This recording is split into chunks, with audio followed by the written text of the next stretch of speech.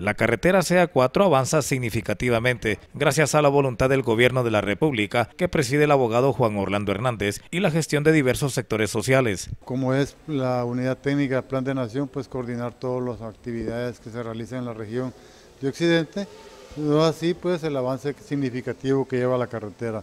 Quiero mencionarle que el tramo 1 que corresponde a Santa Rosa de Copán, a la entrada de Copán, va significativamente bastante avanzado.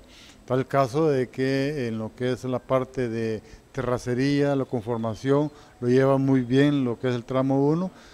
Considero que lo que es el tramo 1 y tramo 2 es un paralelo de la misma empresa y están haciendo trabajos de conformación de calzada.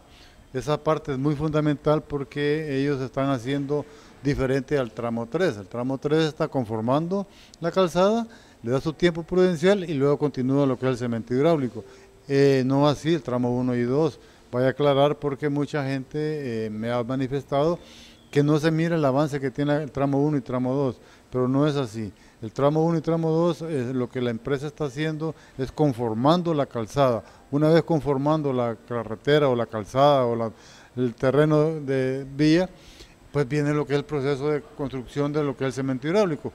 Entonces lleva un, lleva un proceso más avanzado. Decirle de que va muy significativo, el tramo 1 lleva aproximadamente unos 4 kilómetros con dos vías de cemento hidráulico y unos 3 kilómetros con una vía de cemento hidráulico. El tramo 2 lleva aproximadamente unos 6 o 7 kilómetros en dos vías de cemento hidráulico. Bueno, para, para dar un lugar exacto de la entrada desde la posta Tepemechín, de la entrada de Copán a Florida, está allá con doble carril. Entonces esto es significativo. No así el tramo de los ranchos hacia Aduana Florido, pues esa llevamos un aproximado unos 15 kilómetros con dos vías de acceso y unos 6 o 5 o 7 u 8 kilómetros de una vía de acceso. Entonces va significativo y va en tiempo y forma en el avance de la construcción de la carretera.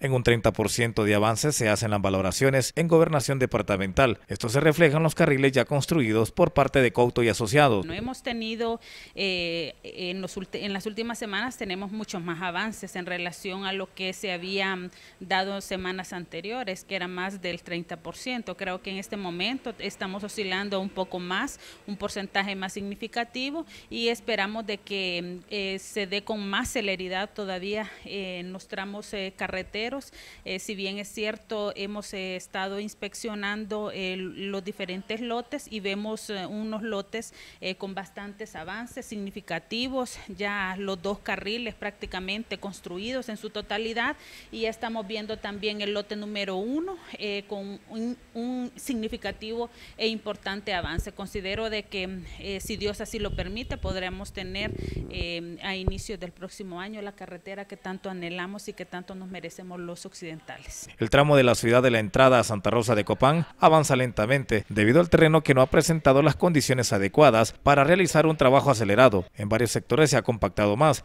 y se han realizado excavaciones y un control de derrumbes para asegurar la nueva carretera. Para TVO Noticias informó Víctor Axume.